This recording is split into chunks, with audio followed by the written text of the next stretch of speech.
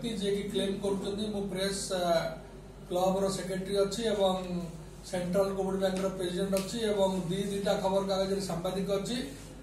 ମୁଁ ଯାଇକି ଭେଟିଲି ଭ୍ରମର ପ୍ରଧାନଙ୍କୁ ଯିଏକି ମୁଖ୍ୟ ଅଭିଯୁକ୍ତ ଆମର ଭଗବାନ ସ୍ୱାଇଁ ମମତା ମହାପାତ୍ର ଯିଏ ସରପଞ୍ଚ ଖଜୁରୀପଦାଙ୍କ ସ୍ୱାମୀର ହତ୍ୟାକାରୀ ବୋଲି ଯାହା ପୁଲିସ କହୁଛି ଏବଂ ଆଦିତ୍ୟ ରଣସିଂ ଯିଏ କାର୍ଯ୍ୟରତ ସାମ୍ବାଦିକ ଅ, ତାଙ୍କର ମଧ୍ୟ ମୁଖ୍ୟ ହତ୍ୟାକାରୀ ବୋଲି ପୁଲିସ କହୁଛି।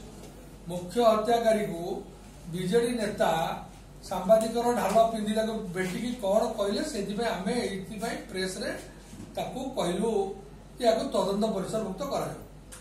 ଦ୍ୱିତୀୟ କଥା କହିଲୁ ଯେ ଆପଣଙ୍କର ଯେ ବିଧାୟକ ଏବଂ ପୂର୍ବତନ ବିଧାୟକ ସେମାନେ ସମସ୍ତଙ୍କର ହେଞ୍ଚମ୍ୟାନ୍ ହେଲେ ଯିଏ ଯାଇଥିଲେ ଯୋଉ କ୍ଲେମ କରୁଛନ୍ତି ପ୍ରେସ୍ କ୍ଲବର ମୁଁ ସେକ୍ରେଟାରୀ ସେ ଯାଇଥିଲେ ଥାନାକୁ ଏବଂ ପୂର୍ବତନ ବିଧାୟକ ଏବଂ ବିଧାୟକଙ୍କର ନେତୃତ୍ୱରେ ଏବଂ ନିର୍ଦ୍ଦେଶରେ ସେ ଯାଇଥିଲେ। ନିର୍ଦ୍ଦେଶ ଦେଇଛନ୍ତି ଯେ ତାଙ୍କର ଯୋଉ ଭିତିରି ସମ୍ପର୍କ ଅଛି ଭମର ପ୍ରଧାନ ସାଙ୍ଗରେ ବିଧାୟକ ପୂର୍ବତନ ବିଧାୟକଙ୍କର ଯାହା ବହୁଳ ଭାବରେ ଗଣମାଧ୍ୟମରେ ଫଟୋ ଭାବରେ ପ୍ରକାଶିତ ହେଇଛି ସେଇଟାକୁ ପରିପ୍ରକାଶ ନ କରିବା ପାଇଁ ଏବଂ କିଛି ବ୍ୟା- ବ୍ୟାପାରିକ ସମ୍ପର୍କ ମଧ୍ୟ ଥାଇପାରେ ଏବଂ କିଛି ବାଙ୍କିରେ ଆଉ କିଛି ବଡ ପଣ୍ଡାଙ୍କର ତାଙ୍କ ସାଙ୍ଗେ ସମ୍ପର୍କ ଥାଇପାରେ। ତେଣୁ ସେ ଯାଇଛନ୍ତି ତାକୁ ମନା କରିବା ପାଇଁ ବୋଲି ଆମର ହୃଦବୋଧ ହେଇପାରେ। ତେଣୁ ୟାକୁ ଆମେ ଚାହୁଁଛୁ ଯେ ତୁରନ୍ତ ଇନଭେଷ୍ଟିଗେଟିଂ ଅଥରିଟି ଯୋଉମାନେ ଅଛନ୍ତି ତାକୁ ୟାକୁ ନେଟ୍ ଭିତରୁ ନିଅନ୍ତୁ। ମୁଁ ବାରମ୍ବାର କରି କହିଛି ଏଥିରେ ପୂର୍ବତନ ବିଧାୟକ ଏବଂ ବର୍ତ୍ତମାନ ବିଧାୟକଙ୍କର ସମ୍ପୃକ୍ତି ଆସୁଛି। ତେଣୁ ସେମାନେ ଦୋଷମୁକ୍ତ ହୁଅନ୍ତୁ। ଆମେ ଚାହୁଁନୁ ସେମାନେ ଦୋଷୀ ବୋଲି ଆମେ କେବେ କହିନୁ। କିନ୍ତୁ ଯାହା ଗଣମାଧ୍ୟମରେ ଏବଂ ଯାହା ଲୋକ ଚକ୍ଷୁରେ ପ୍ରମାଣିତ ହଉଛି ଏବଂ ପରିପ୍ରକାଶିତ ହଉଛି ଯେ ସେମାନେ ଦୋଷୀ ବୋଲି ସମସ୍ତେ କହୁଛନ୍ତି। ତେଣୁ ଯଦି ସେ ଦୋଷମୁକ୍ତ ସେ ନିଜେ ନିଜକୁ ପୋଲିସକୁ ସରେଣ୍ଡର କରନ୍ତୁ ଏବଂ ନିଜେ ଇନକ୍ୱାରି ଭିତରକୁ ଯାଆନ୍ତୁ ଏବଂ ଦୋଷମୁକ୍ତ ହୁଅନ୍ତୁ କେହି କିଛି ମନା କରିବାର ନାହିଁ। ତେଣୁ ଭମର ପ୍ରଧାନକୁ ଯୋଉ ଗଲେ ତାଙ୍କର ହେଞ୍ଚମ୍ୟାନ ଯିଏ ଦେଖା କଲେ ଯାହାକୁ ସିବିଆଇ ଡାକିଥିଲା ଅ, ହାଜତ ଏଇ ଯୋଉ ଆପଣଙ୍କୁ ଇଣ୍ଟରୋଗେଟ କରିବା ପାଇଁ ଯାହାକୁ ଡାକିଥିଲା ତାଙ୍କର ବନ୍ଧୁ ବନ୍ଧୁଙ୍କୁ ସେ ବନ୍ଧୁ ଯିବା ଫଳରେ ଏଥିରୁ ଜଣା ପଡିଲା ଯେ କୋଉଠି ନା କୋଉଠି ଏମଏଲଏ ଆଉ ଏକ୍ସ ଏମଏଲଏଙ୍କର ହାତ ଭମର ପ୍ରଧାନ ପର୍ଯ୍ୟନ୍ତ ଯାଇଛି ଏବଂ ଭମର ପ୍ରଧାନର ହାତ ମଧ୍ୟ ତାଙ୍କ ପାଖରେ ଲାଗିଛି।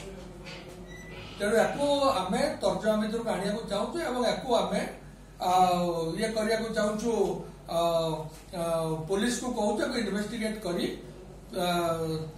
ତାକୁ ଲୋକଲୋଚନକୁ ଆଣୁ ଘଟଣା ପରେ କୌଣସି ଆକ୍ୟୁଜଙ୍କର ଷ୍ଟେଟମେଣ୍ଟ ନେବା ପାଇଁ ଫଟୋ ଭିଡିଓ ନେବା ପାଇଁ ପୋଲିସ ବାରଣ କରିଥିଲା ବାଙ୍କିର ଗଣମାଧ୍ୟମକୁ। ତ ଆପଣ କାହାକୁ କହିବେ କିଏ ଇନଭେଷ୍ଟିଗେଟ କରିବ? ଯିଏ ସୁଯୋଗ ଦେଇଛି ଅ, ସମ୍ପୃକ୍ତ ବ୍ୟକ୍ତିଙ୍କୁ କଥା ହେବା ପାଇଁ କୋଉଠି ନା କୋଉଠି ଆକାଉଣ୍ଟେବିଲିଟି ତ ତାର। ନା ଆକାଉଣ୍ଟେବିଲିଟି ଆକାଉଣ୍ଟେବିଲିଟି ଡେଫିନେଟଲି ଯେକୌଣସି ଲୋକର ଆକାଉଣ୍ଟେବିଲିଟି କିନ୍ତୁ ମୁଁ କଣ ଆପଣଙ୍କୁ କହି ରଖିବା ପାଇଁ ଚାହେଁ ପୋଲିସ ତ ଏଗାର ଜଣଙ୍କୁ ଆରେଷ୍ଟ କଲାଣି। ପୋଲିସ ଏଗାର ଜଣଙ୍କୁ ଆରେଷ୍ଟ କରିଛି ଏବଂ ଆମର ମଧ୍ୟ ବିଶ୍ୱାସ ରହିଛି ପୋଲିସ ଆହୁରି ଆରେଷ୍ଟ କରିବ।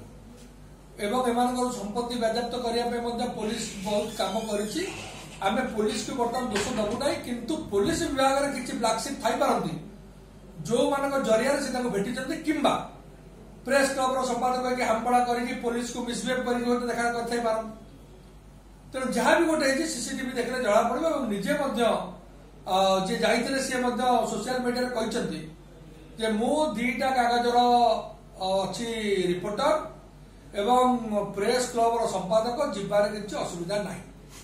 ସେ କଥା କହିଛନ୍ତି କିନ୍ତୁ କୋଉ କାଗଜରେ କେବେ ଯୋଉ ନ୍ୟୁଜ ତାଙ୍କର ବାହାରିଛି ମୁଁ ତ କାହିଁ ଜାଣିନି। ଆଜି ପର୍ଯ୍ୟନ୍ତ କୌଣସି କାଗଜରେ ସେ କଣ ଲେଖିଛନ୍ତି ମୁଁ ସେ ବିଷୟରେ ମଧ୍ୟ ଜାଣିନି। କିନ୍ତୁ ନିଜକୁ ନିଜ ମୁଣ୍ଡରୁ ଦୋଷ ଛଡେଇବା ପାଇଁ ସେ ଏଇଟା କହିଛନ୍ତି। ଏବଂ ତାପରେ ମଧ୍ୟ କହିଛନ୍ତି ଆସାମୀ ଭ୍ରମର ସାଙ୍ଗରେ ମୋର ସମ୍ପର୍କ ଅତି ପୁରୁଣା। ମୁଁ ତାକୁ ଜାଣିଛି। ତେଣୁ ଯିବାର କୌଣସି ଅସୁବିଧା ନାହିଁ ବୋଲି ଏକଥା ମଧ୍ୟ ସୋସିଆଲ ମିଡିଆରେ ପରିପ୍ରକାଶ କରିବା ମୁଁ କହୁନି। ସିଏ କହିଛନ୍ତି ତେଣୁ ଯଦି ସମ୍ପର୍କ ପୁରୁଣା ଫଟୋ ଅଛି ଏମଏଲଏ ଏକ୍ସ ଏମଏଲଏ ତାଙ୍କ ସାଙ୍ଗେ ବୁଲୁଛନ୍ତି କାନ୍ଧରେ କାନ୍ଧ ପକେଇ ବୁଲୁଛନ୍ତି ତେଣୁ ଇନଭେଷ୍ଟିଗେସନ ହବାରେ କ୍ଷତି କଣ ଅଛି? ତଦନ୍ତ ହଉ କ୍ଷୀର କ୍ଷୀର ପାଣି ପାଣି ହଉ ଅସୁବିଧା କଣ ଅଛି?